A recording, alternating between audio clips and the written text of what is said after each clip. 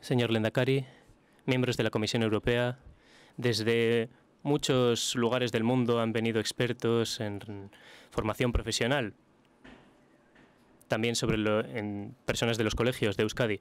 Señoras y señores, buenos días. Es eh, de agradecer que hoy nos podamos reunir aquí. Muchísimas gracias, de verdad, a todos y todas los que habéis venido a Euskadi para formar parte en estas jornadas, por el esfuerzo que habéis hecho en venir.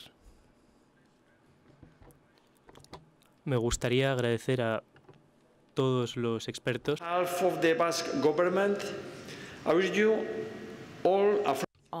en nombre del gobierno vasco les deseo todos una estancia muy agradable con nosotros, que disfruten de la visita a Donosti San Sebastián y el Congreso. Hoy en Euskadi.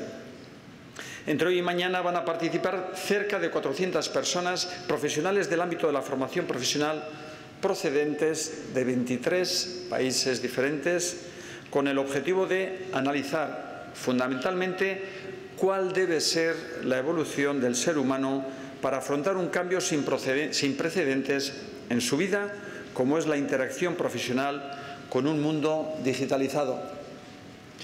Por mi parte, una breve intervención.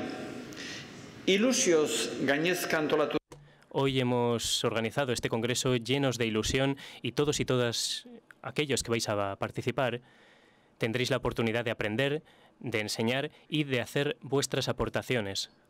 Esa es la esperanza que tenemos.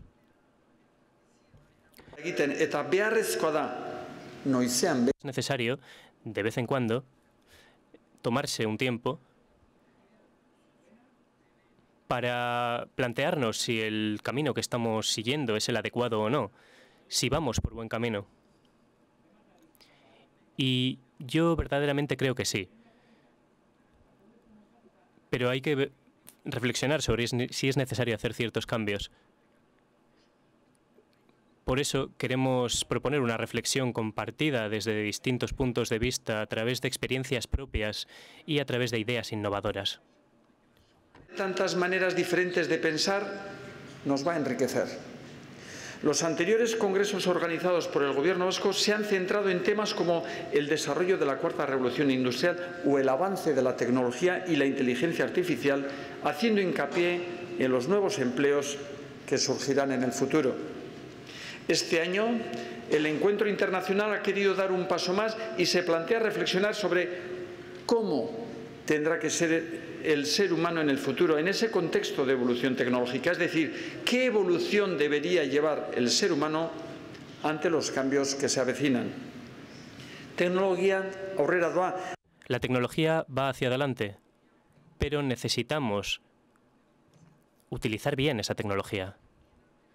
Necesitamos sacarle el máximo provecho desde el punto de vista humano para realizar cambios a favor de las personas, tenemos que cuidar de las personas. Es una, un tema muy importante y de gran eh, enjundia hoy en día. Muchísimo ánimo y a trabajar. Muchas gracias.